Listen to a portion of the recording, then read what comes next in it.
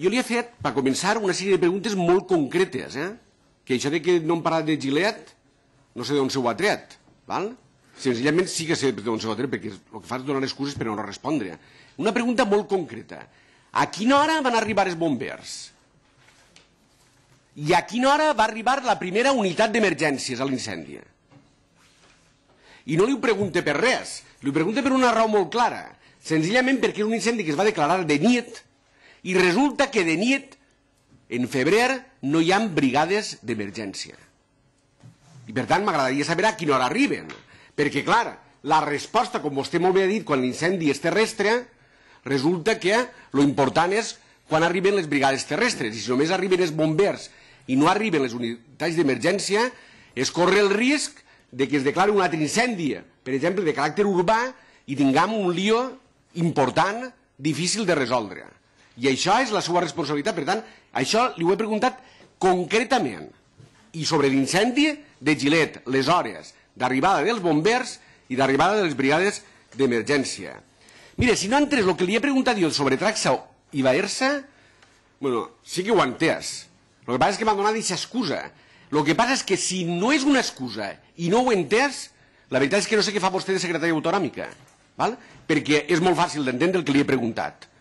Els mitjans són de la, de la Generalitat, és de Traxa, i està contratat una empresa. I li pregunte, li torno a preguntar, coses com la prevenció i l'extinció d'incendis, que són qüestions estructurals, estructurals, com es pot entendre que les comandes siguin anuals?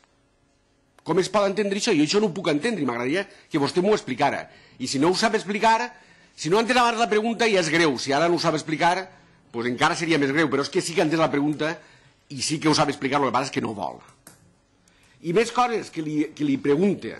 Uh, una cosa que abans he dit, ha dit vostè lo dels 4.500, a mi m'agradaria quan parlen d'11.000 i de 4.500 que ho detallar una miqueta, però jo no vaig insistir-li més perquè, per què?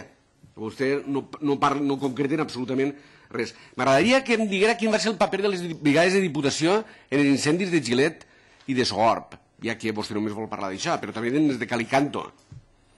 M'agradaria saber quin, quin paper juguen, no per res, sinó per una senzilla raó, perquè a mi em pareix molt bé que intervinguin les, les brigades de diputació, però han de tindre prèviament la qualificació corresponent en els seus llocs de treball per a poder ser brigades de primera intervenció que no la tenen.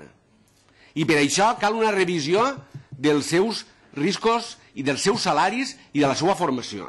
M'agradaria això que ho explicara M'agradaria que explicara el, el tema dels plans de prevenció que vostès diuen que estan treballant juntament amb els ajuntaments. Com? Si acaben de frenar, ho han denunciat els treballadors, col·laboracions de Baersa del, del Servei de Prevenció d'Incendis amb ajuntaments que tenien ja pràcticament tancat. Això és, això és col·laborar en els plans de prevenció? Això és col·laborar en els plans de prevenció? I quants plans de demarcació ja n'hi han redactats i quants ja han aprovats i quan es pensen aprovar? Per què no parlen d'això? Vostè ha dit abans el tema de Serra, efectivament. Jo li pregunto ara, el tema, el tema és quants expedients administratius i en què han acabat en els temes de les negligències fetes per ajuntaments que la premsa avui publicava, no el de Serra, el de Nàquera també. Què ha passat amb això? Ha acabat amb alguna cosa això? O és que es vindrà ara molt bé que això no hagin acabat de cap manera per al senyor San Juan tampoc acabar de cap manera? I un altre tema, el tema de les cremes i les negligències. Mire, com s'entera un llaurador del nivell de, pre de prevenció, del nivell de risc? Com s'entera? Que de quina manera ho ha de fer això? Ha de tindre una il·luminació aquest dia pel matí? O, ha, o de quina manera? Sap per què li ho dic?